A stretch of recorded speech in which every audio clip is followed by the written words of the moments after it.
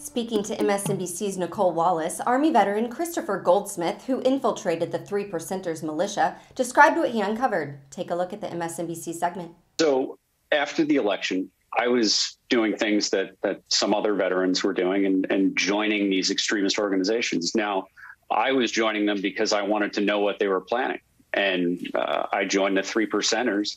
And during the screening, uh, using a, a, you know basically my real profile as an Iraq veteran as a background, they were asking me questions about my weapon system, my secondary, meaning my my handgun, uh, how I was prepared to use it, what I would do in different tactical scenarios, and they explicitly asked, and I made recordings of these because these people are idiots and they don't uh, see this kind of stuff coming. And they were explicitly asking, you know, would you kill someone from Antifa or Black Lives Matter if given the chance. And and I wasn't. This wasn't an anomaly. I recorded a, a recruiting session of another veteran who was joining, I think, for legitimate reasons, or well, their reasons, uh, the day prior.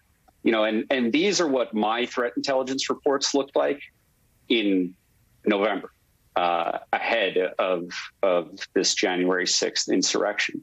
There were other folks. You know, we've seen Ali Alexander, Alex Jones uh, get targeted by the January 6th uh, uh, committee.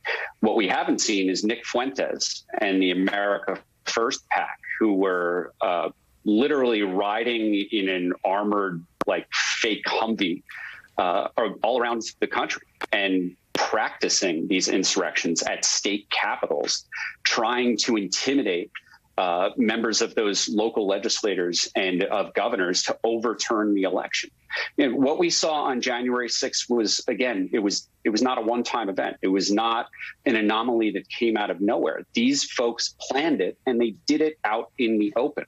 Uh, and their website hosts, they keep getting basically starting at, at square one. So my goal uh, and and organizations like We the Veterans and Veterans for American Ideals and Human Rights First are to knock these people off center. They have gone unopposed uh, for years. You know, we've all been talking about they've they've been talking about these this violence out in the open, and nobody's done anything. Well, now it's it's time to engage these people. And you know, I'm not going to go out in the street with a weapon, uh, dressing like I I you know, did in Iraq because I'm not an idiot.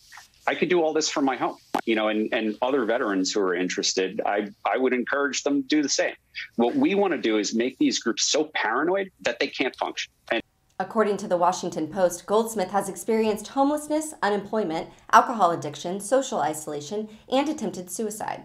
Once he recovered, Goldsmith realized that such darkness can leave veterans vulnerable to radicalization from anti government groups promising fraternity around a shared embrace of extremist beliefs. While managing the social media accounts for Vietnam Veterans of America, an advocacy group, Goldsmith discovered a copycat page on Facebook. Before long, he had unearthed multiple sites targeting veterans specifically with divisive and what he saw as dangerous propaganda, and he wanted to fight back. Thank you for watching. Please be sure to visit us at rawstory.com. And if you'd like to see more of the Raw Report, please like and subscribe, and join others who like their news raw too.